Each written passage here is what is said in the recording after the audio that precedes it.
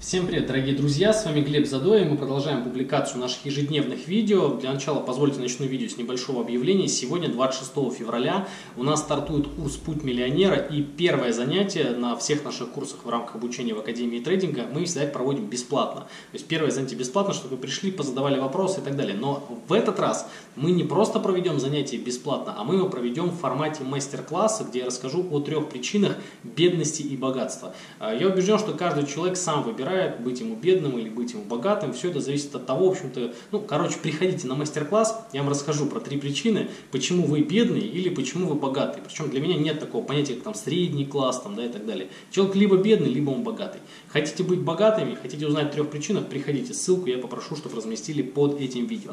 Ну, а сегодня у нас понедельник, а это значит, что самое время записать какое-нибудь мотивирующее видео, которое, в общем-то, вас немножко настроит на рабочий лад в начале текущей недели и я очень давно хотел с вами поговорить о выходе из зоны комфорта. На самом деле 99% людей живут в зоне комфорта. Просто вот эта зона комфорта, она у всех разная. У кого-то зона комфорта это когда у тебя трешечка в хорошем районе, э, там машина у самого у себя, там машина у жены, загородный домик, хорошая приличная э, работа, хорошая зарплата и так далее. А у кого-то зона комфорта это доступ э, к мамкиному холодильнику в 30 лет. Так вот, а ведь все люди практически как-то декларируют, что я бы хотел там что-то нового, интересного, двигаться, развиваться.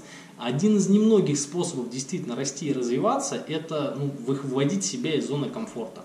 Причем порой жизнь сама нас выводит из зоны комфорта. Ну, примеры там могут быть как приятные, так и неприятные. То есть человек там, допустим, обзавелся семьей, вот уже вышел из зоны комфорта. Родился ребенок, вот опять же выход из зоны комфорта. А, иногда человек там, допустим, теряет работу, опять же выход из зоны комфорта. И вот эти вот ситуации, которые нам преподносит жизнь, они не всегда нам приятны. Да? То есть, допустим, потеря работы, э, такой вот выход из зоны комфорта, это не очень приятное дело.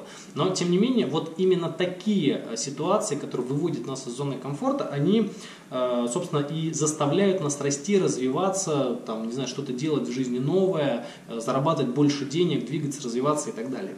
Так вот, не нужно, на мой взгляд, ждать, когда жизнь сама э, подкинет вам какие-то случаи, когда вам придется выйти из зоны комфорта. Нужно всегда создавать самому себе вот такие ситуации, когда вы будете выходить из зоны комфорта. Только так можно расти, только так можно развиваться. Поэтому, если вы вот хотите что-то нового сделать, выводите себя из зоны комфорта. Каждый день, каждую неделю настраивайте себя, идите к чему-нибудь неизвестному, и только так вы будете расти.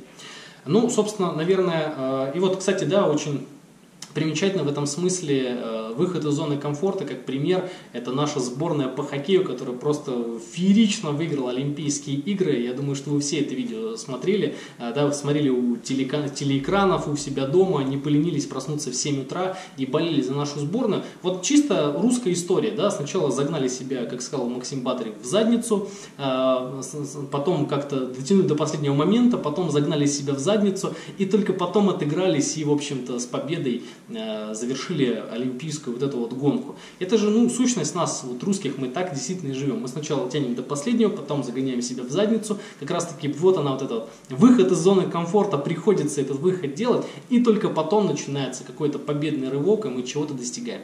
Так что, короче, выводите себя из зоны комфорта, двигайтесь вперед, ставьте перед собой цели, и все будет здорово.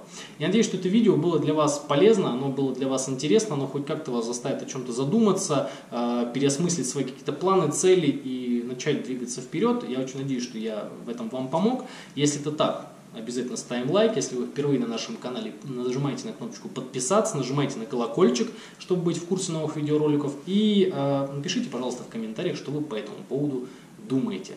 А, ну, а с вами был Глеб Задоя. Поздравляем всех нас с вами с тем, что наша сборная по хоккею выиграла такие Олимпийские игры, несмотря на все эти преграды и сложности, которые были у нас в этом году. Это был фантастический матч. Я вот ни разу не пожалел, что в воскресенье проснулся в 7 утра. Короче, друзья, это круто, мы гордимся нашей сборной, и я думаю, что они нас дальше будут радовать такими крутыми победами. Всем большое спасибо за внимание и пока.